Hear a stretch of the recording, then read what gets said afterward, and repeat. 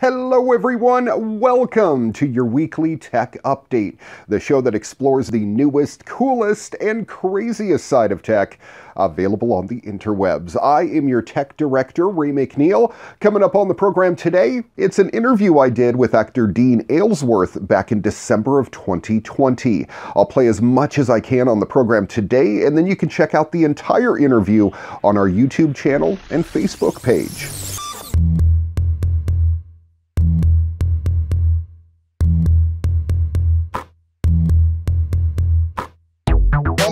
Today I talk with an actor that keeps showing up in some of my favorite shows. Really, over the past 24 years now, he's played young Bill Mulder in The X Files.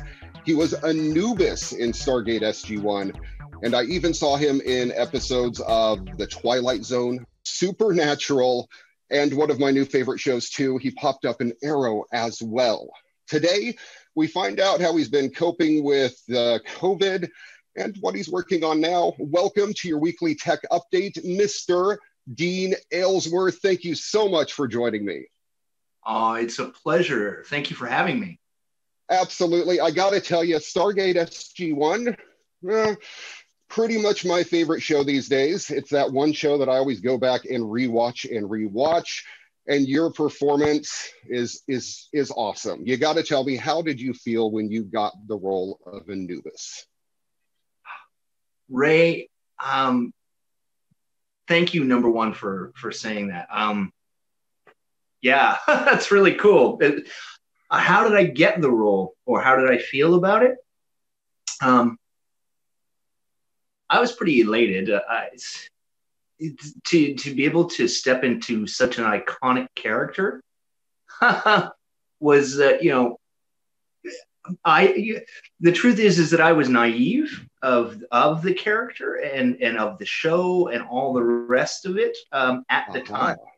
Uh, and, and and and I walked into the audition with uh, with very limited amount of, uh, of information, but very poignant. Uh, my uh, my casting director was really cool. He uh, he walked me through it. He said, "Look, this is a this is a character that is established eight years previous to you showing up now.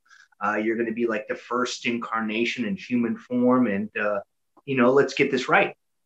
And that's kind of what I did. And uh, when I got it, uh, I, I elated, like I said, but yep. naive as to the the weight. So- before you had the the uh, uh, introduction, um, before you got in front of a camera to to do your first Anubis, did you go and rewatch stuff? Did you check it all out, or did you actually go into it naive?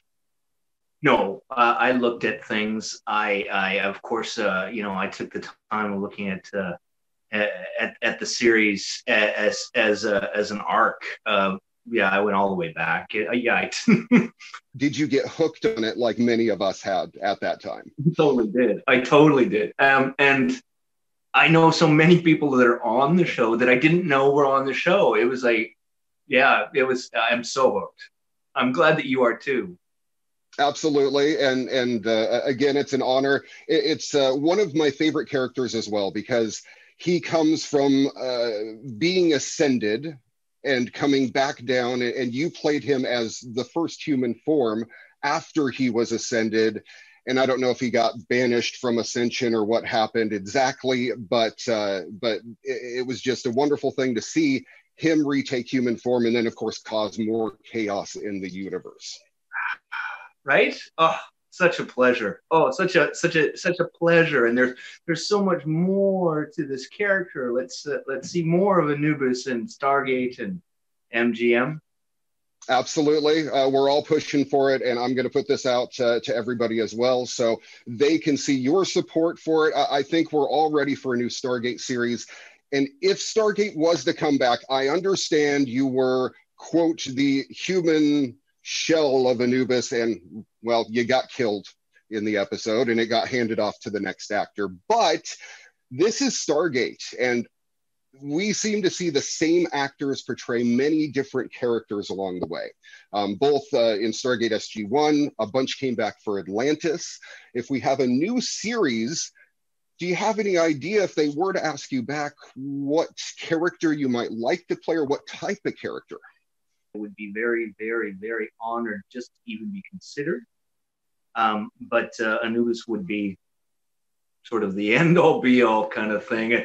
I, I, of course, I would come in in any form, any form, and would be flattered to do it. But uh, Anubis would be the, the, the greatest. Uh, you know, he's the Himalayas. He's, he's you know he's Everest. There you go. Now you have a penchant for playing the bad guy, and and I must say you play a really good bad guy.